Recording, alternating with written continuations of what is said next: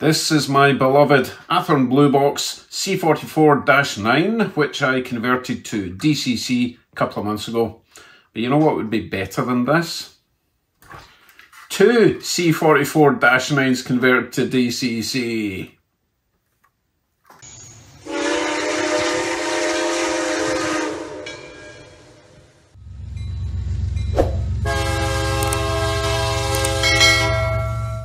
Hello YouTubes. Now I know these locos look exactly the same but they're completely different. This one says 4641 and this one says 4642.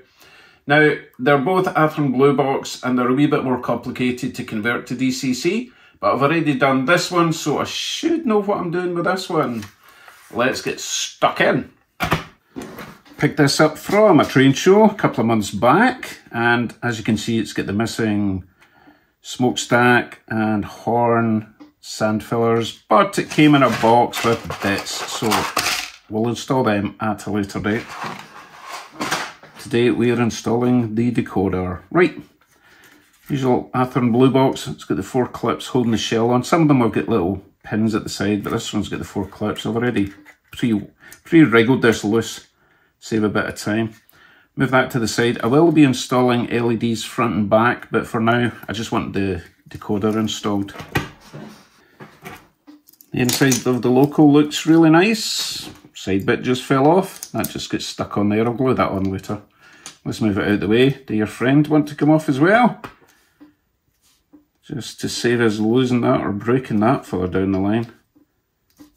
Come on because there is breakable bits there like that little bell. Nope, he wants to stay on. Doesn't matter, doesn't need to come off. So, all looks nice and clean. If you're new to Athearn Blue Box decoderizing, we need to get the motor off because at the moment the motor is grounded to the chassis through little prongs that stick out the bottom of the motor.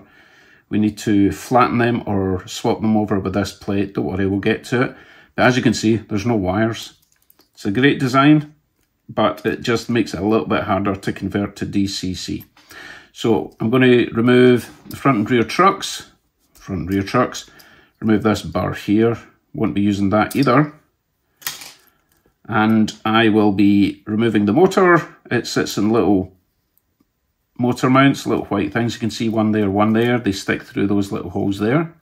They look in good condition, but if they break, I do have replacements thanks to Greg Dean, who sent me a pack of them. Okay, let's dismantle.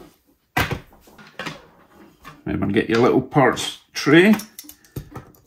I do love how easy these are to dismantle. So you've got a little clip here that holds the truck upwards and it rests on those little silver bars there. It's usually a good idea to get to the clip from the underside. So if there's a space through there, right up to there, clip that. Keep your finger over the top so it doesn't go doing across the floor. Clip off, worm gear off, drive shaft out, truck drops down, truck side falls off apparently. Not to worry, I was going to take these off anyway and lubricate and clean everything. It's really not that dirty. It's really great condition. Right, that's one down. Same for the other side. Screwdriver through a gap if you can find one. Not sure if I'm going to have the same luck in this side, unfortunately. Come on, give it, yeah, there we go. You see that? Get it up through there, in there, over the clip. Let's get this light thing out the way. It just clips on like so unclip it like that, take that off. We're not going to be using that either. Take that clip off, worm gear out. Watch you don't lose, there's a little thrust washer in there, don't lose that. Put him over there, drive shaft out. Truck removed. Lovely. And we will just remove this for now because I'll be installing the LEDs to the body rather than to this. However, I am going to be using this plate here to solder on the ground wire for the decoder. We'll get to that soon. Okay, next step, remove the motor. Motor is held in place by two white, kind of flexible plastic mounts and they poke through the bottom of the chassis, as you can see down there. Now, I've seen people stabbing these with screwdrivers, Phillips or straight screwdrivers like that. I'm going to try using more of a sort of Allen key tool so that we've got a sort of flat, surf flat surface pushing down. Older ones, you can maybe wiggle this and get them out. I don't want to break these though, because they do look in good condition. Right, let's see if we can push this out. This one and this one is connected, and that one and that one's connected. Know why there's sellotape at the bottom of this, that's weird. Anyway, let's see if we can get this out without breaking it. Just because I've got new ones doesn't mean I have to break the old ones, right? Because everything costs money to replace.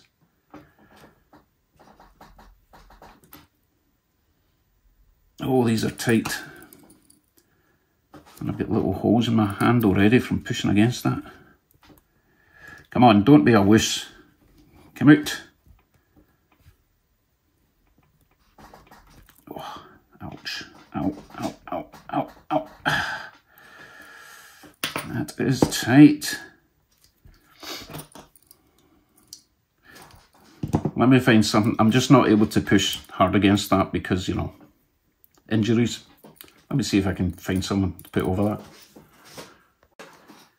Here we go, bit of insulating tape protect my poor little soft hands. Let's try again.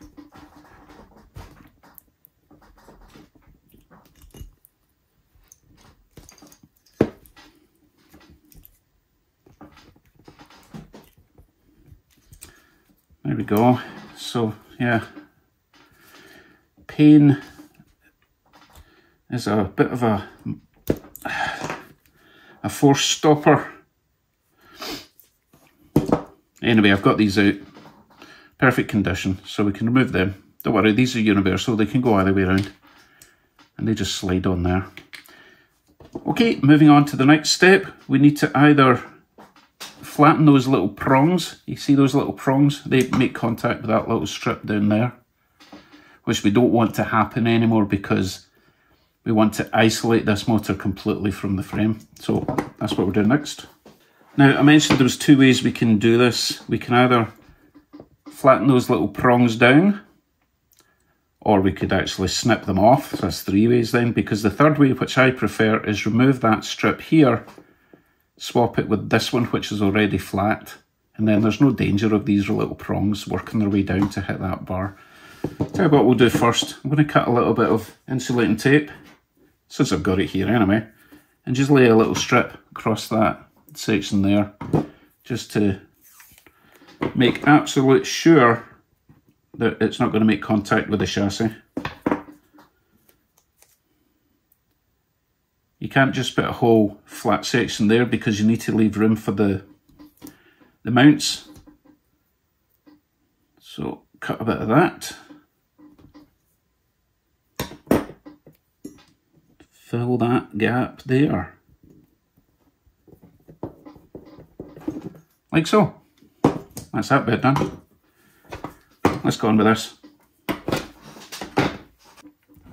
I'm going with the option of swapping that plate with that plate. It's just the way I prefer to do it. Now, before you immediately rip these off, bear in mind that underneath that plate right there and that plate is where your little brushes live. So be careful when you, you take them off. You'll also notice there's a different way that this clips over. There's a sort of, it kind of looks like a question mark there. Whereas the other side is just a, a hook round. They have to go on that way, okay? And it also helps with putting them back on. So clip it off that side, keep your finger over there so the spring doesn't go across the room. Remove this. There's your little spring. And your little brush. Sometimes it comes out. These ones in the Athearns, or some of the Athearns, have got a little slot in them to make them easy to rotate into position if you have to. Look at the size of that. That's not seen a lot of action. Put that somewhere safe for now. And the other side, exactly the same. Unclip it there, keep your finger over the top. Remove that. spring seems to be stuck to it. And the brush. Also huge. Excellent. I love it when the brushes are that size. Now, before I swap them over, I want to go through the decoder itself, just in case you're new to this, okay? I'm using a very basic decoder, TCS. It's not a top brand or anything, and this actually came out of a different loco. And if I forget, this one's address for the loco is 6060. Yes, it came out of a, a steam train. now, it is purely for motor function and lights. So forward, back, speed, accelerate, decelerate, lights front and back. No sound, anything like that. There are some wires that will not be used. They generally come with a generic wiring harness. Okay, this is a 8 pin, I believe. The two outside ones, the purple, won't be getting used, and the other outside one, the green, also will not be getting used, and they've already been cut down. Let's go through the other wires. We've got black on that side and red. Red will be picking up power from the right hand rail. Black will be picking up power from the left hand rail. So that's those two accounted for.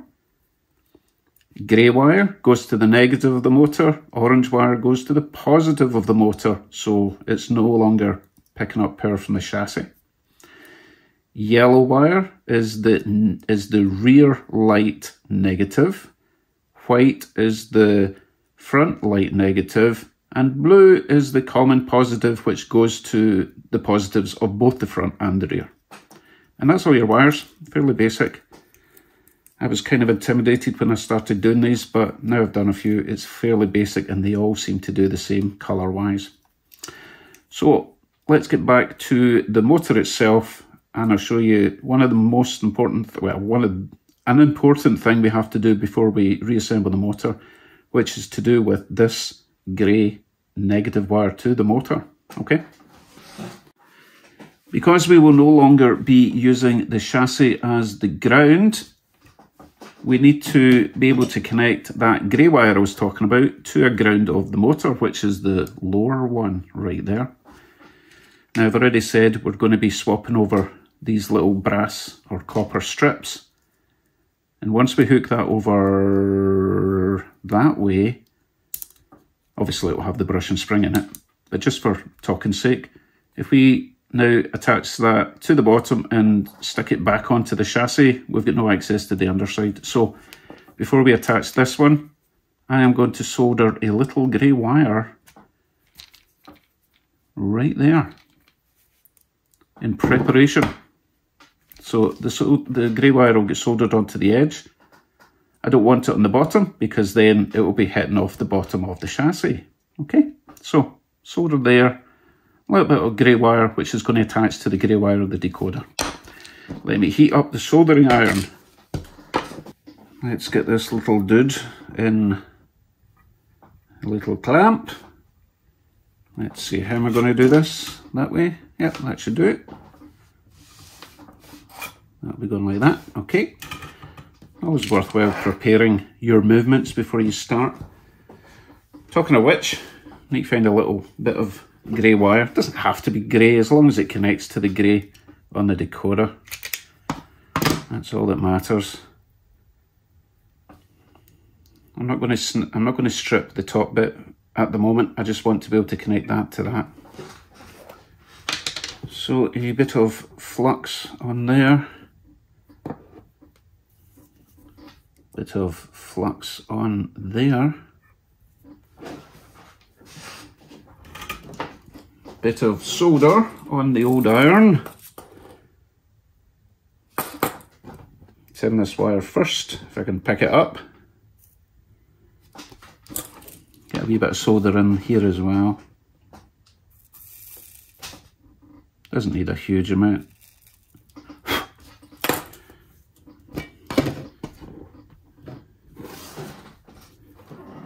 Get this connected.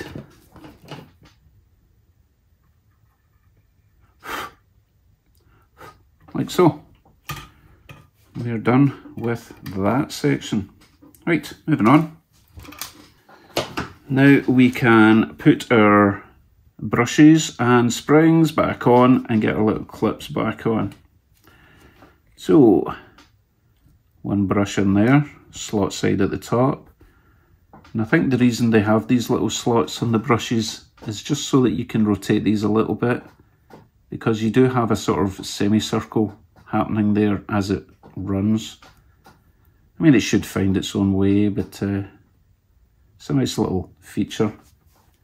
You basically poke, poke your screwdriver down there and rotate it until you're happy. As I say, it will find its home. Okay, now we can get our spring in. And this is the bottom clip. You can tell that by the mounts or the mounting bracket areas. So that's the one we just done. Oh, let's just wipe off that flux that I've left there.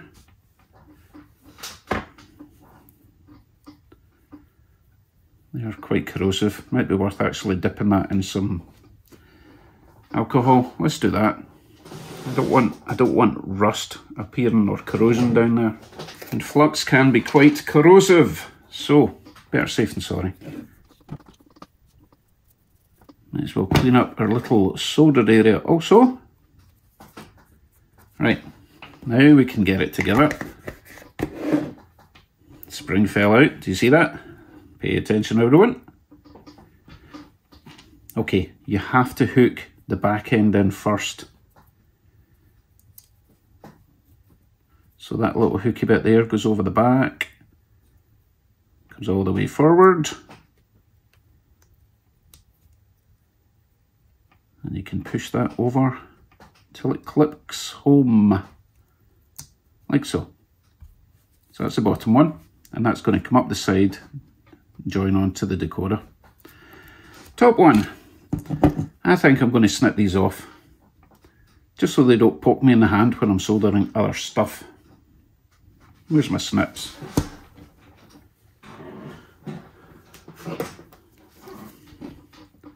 Let's get in here. Snippy snip. Okay. Straighten that up again so that it makes a nice clippy clip. And we'll get that one back on.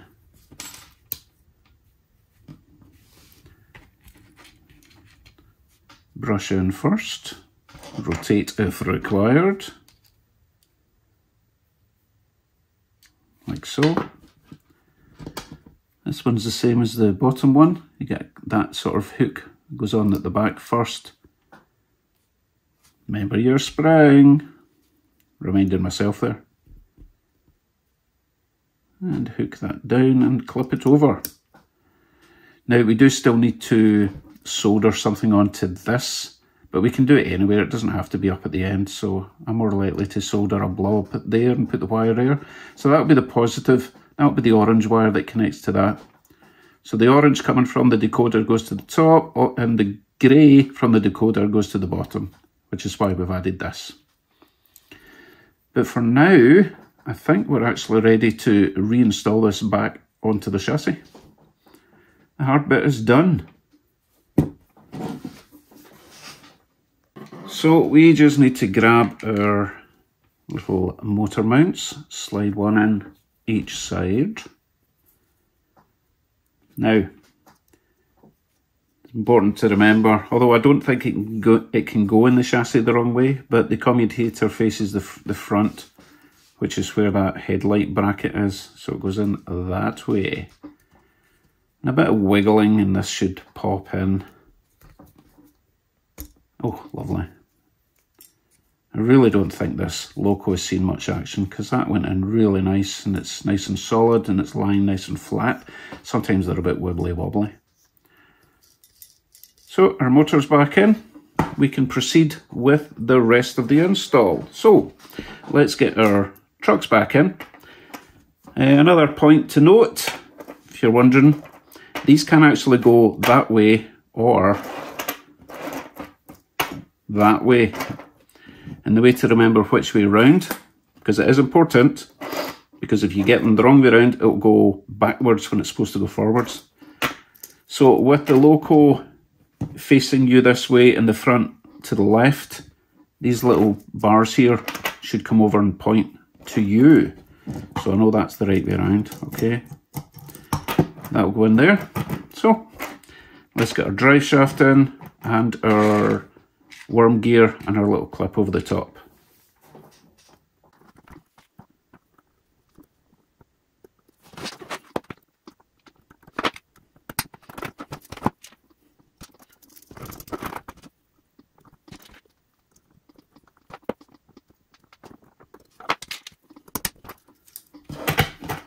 Easy peasy. Okay, the final bit of wiring. Well, there's a few bits of wiring, but it's all in front of us now. Let me talk you through where all the little wires from your decoder end up. So we've already established the grey wire is going to be connected to that grey wire. The orange wire is going to be connected to the top or the positive connection to the motor. So I'll be soldering on something probably right in the middle there. Okay, that's the grey and the orange. But we need to sort out where the pickup comes from. So we have the red.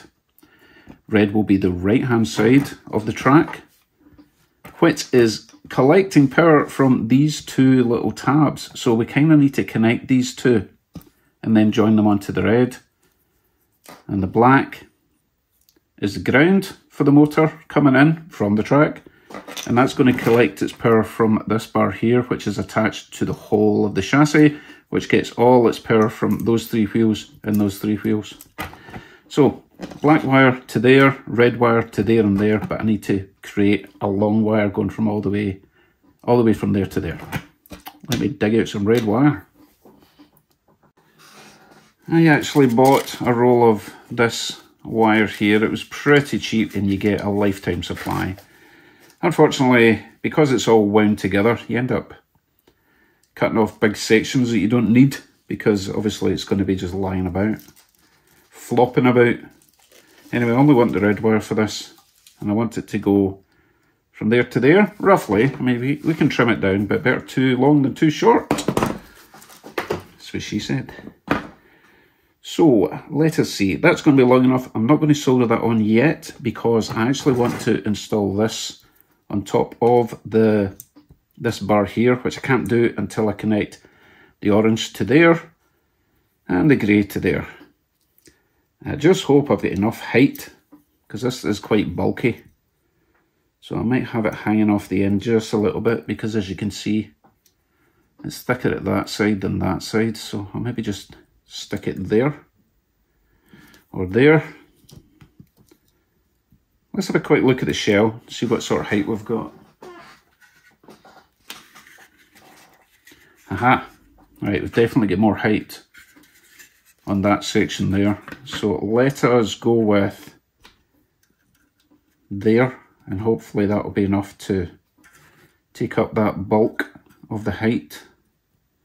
You can get little brackets to clip over your motor for this, for this to sit on, but I've found with this type of low, this diesel loco, it's really skinny there. You don't have a lot of width to put a clip on, and then the, the, the, the little plate that you make actually raises it even higher, gives you even more trouble. So I'm just going to stick it on there, I think.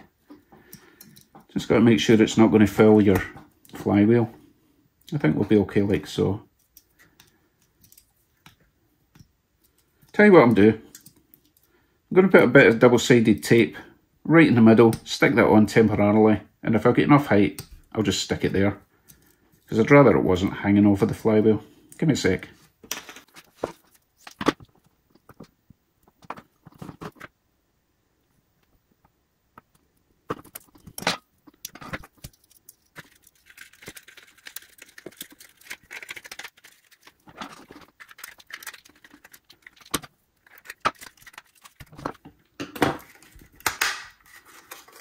Aha, as you can see, it fits right on the top.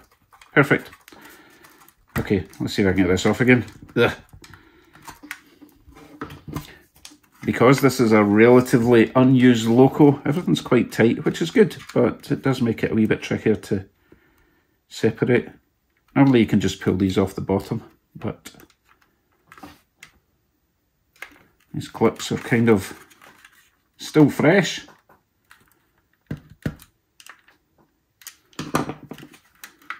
How did I get this off the first time? Uh, maybe did that. Yes.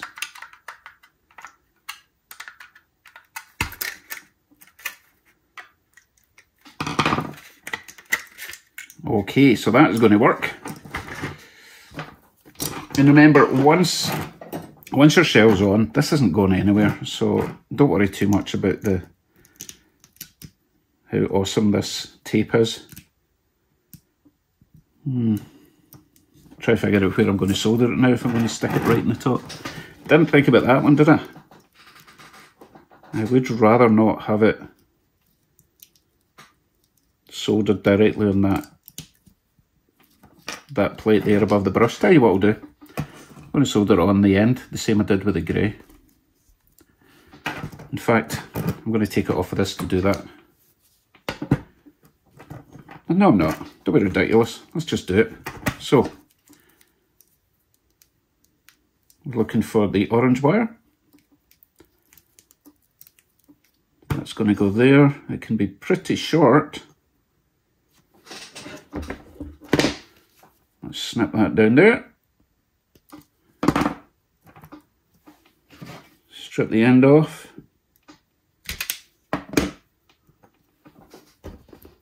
A little bit of flux. A wee bit of tinning. Didn't have to do it sitting there. And I want to get some in the end here. Bit of flux in there. Gonna need a bit more solder. Try not to breathe in the toxic fumes. Plenty. We can stick this back on and solder on our orange wire to the top of the motor. We can see what we're doing. So that little orange wire is just going to come round here. Solder on there. Okay.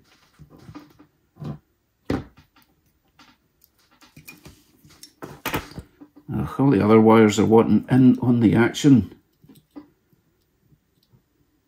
Okay.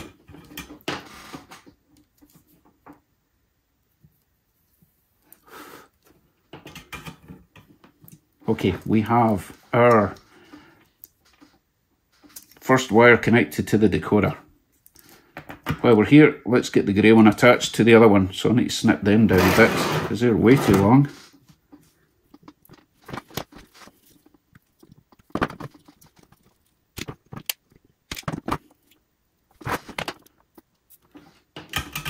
Obviously before I connect them, I need to get a little bit of heat shrink tubing. Otherwise they're going to be flopping about creating shorts. Doesn't need to be a huge amount, just enough. That's still too much.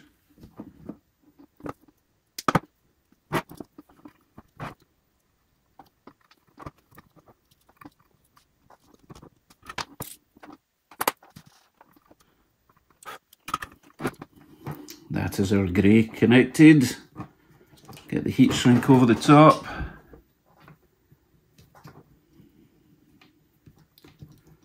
Yes, I know it looks really fiddly, and it is.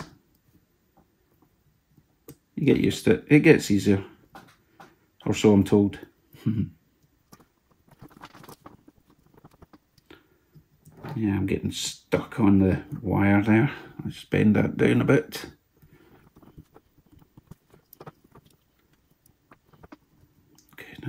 What he was.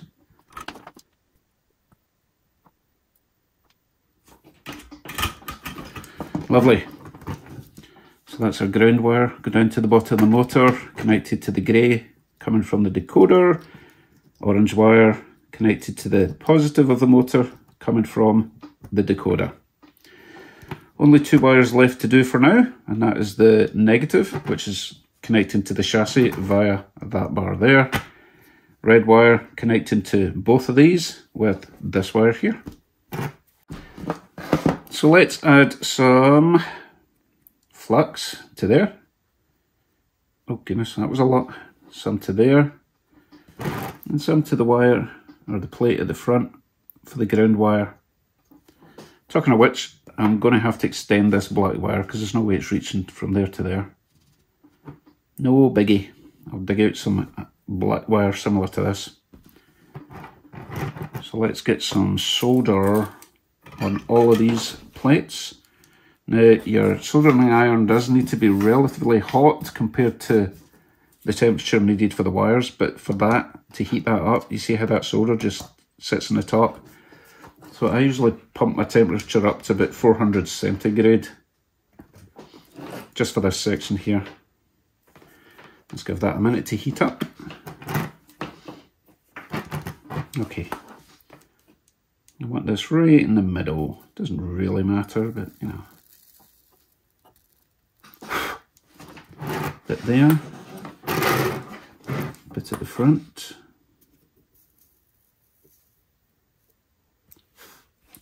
a bit in the rear. That's a lot of blob. Not to worry. Okay, let's sort out this wire. So for now, I'm just going to run the red wire all the way from the front to the back. Obviously, I'll need to snip it in the middle and join on the wire coming or going to the decoder. First things first, let's join this one.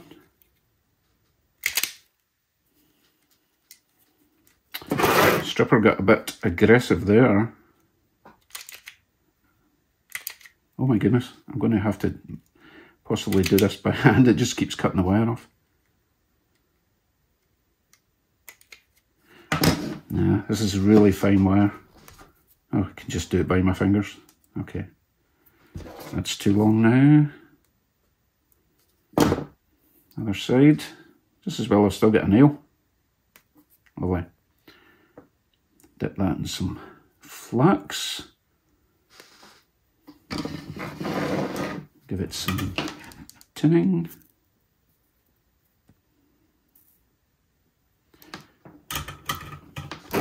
Ready for soldering on. One section there.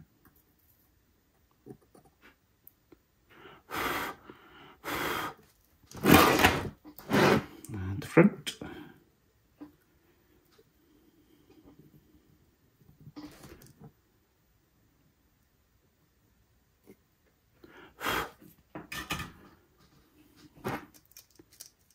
Okay.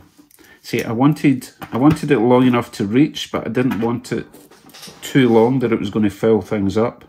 Because we don't have a lot of room in here, and it wouldn't take much for the shell to push that down. As long as there's enough room for your trucks to rotate without stretching the wire, we're good. And obviously we're going to be cutting this anyway. So, need to cut this and join it to this. Okay, I've decided I want this wire longer because remember, you've got to cut it and then strip it and then twist it together or, you know, join it. So I actually don't have enough red wire there.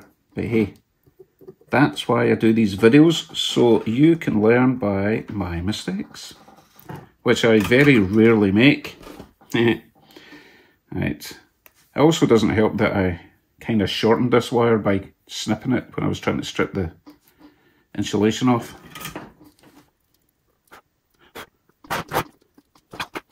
Heat. Heat is hot. Molten metal. Okay, so that's obviously way too much, but that's okay because, as I say, we're going to strip it here. Or not strip it, snip it there. Strip that. Strip that. Join them together. We can tape it all down later anyway. Twist them together for now. Bit of flux. Don't worry, I have thought about the heat shrink thing. We can do that with the next step. For now, I want these together. Yeah, that'll work. Trust me. Trust me.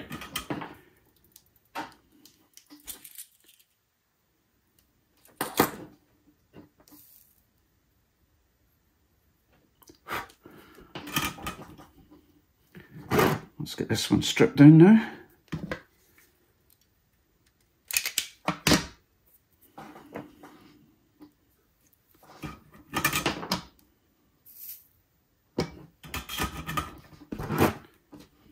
Bit of heat shrink now. Now that doesn't need to be quite so long. What I think we'll do is join it like so, and that'll leave us enough room Yes, that'll be fine. So, heat shrink over the single bit of wire.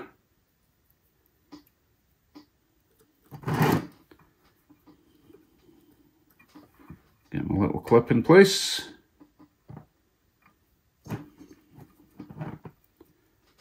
Join these together. Let's clean that up a bit.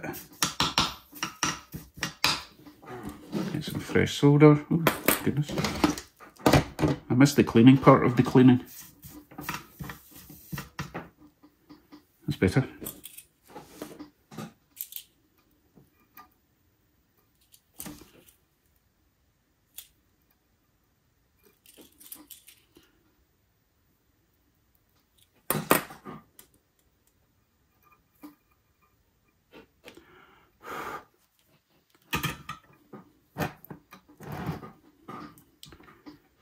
Slide our heat shrink over all of them. Shrink it down.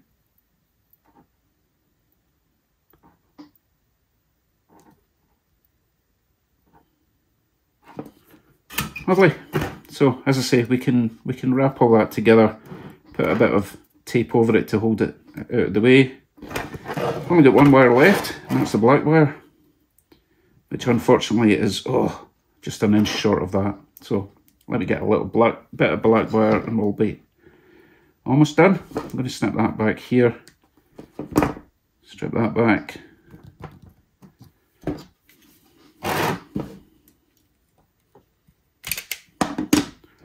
Find a bit of black wire.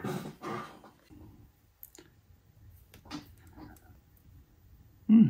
So this wire that I got that's really easy to strip. It's actually solid core wire, so it's pretty good.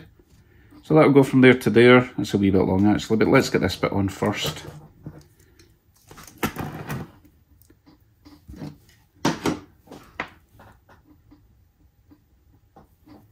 So remember this is the ground wire coming from the chassis.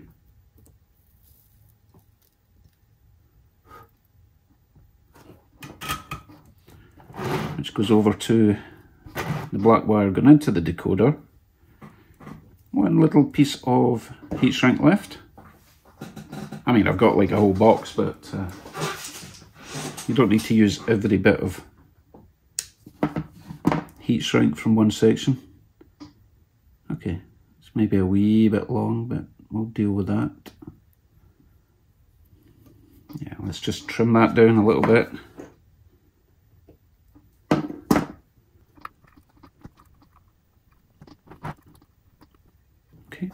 A bit of flux, too much.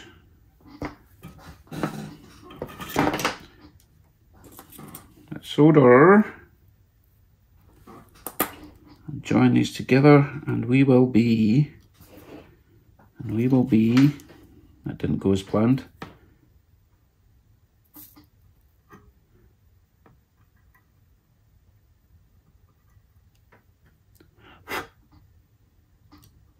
Done. Well, almost. Once I get the heat shrink on, then we'll be done. Hmm, not really happy with that connection. Nah, it's fine. It's fine.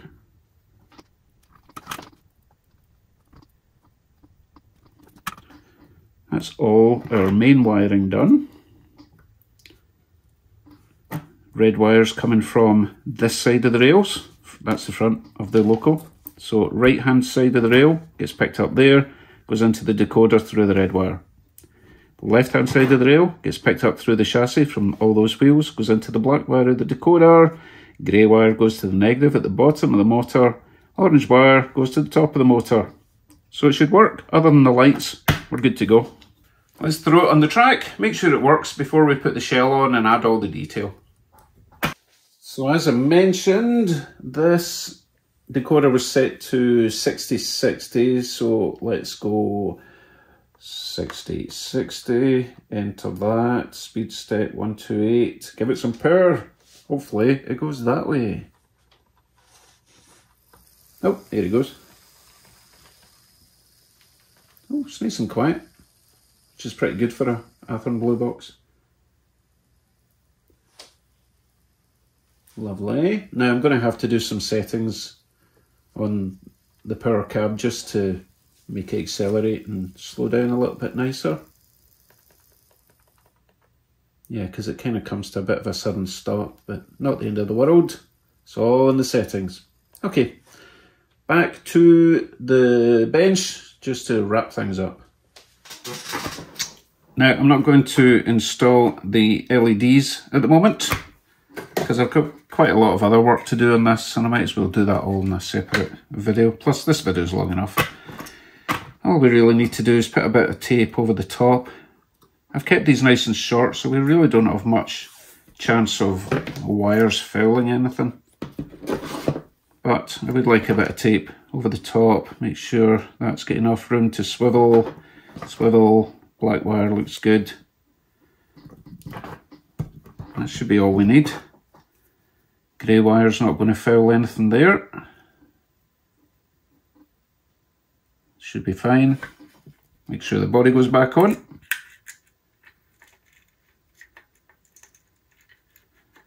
Not catching anything there. Not catching anything there, although that tape's a wee bit annoying.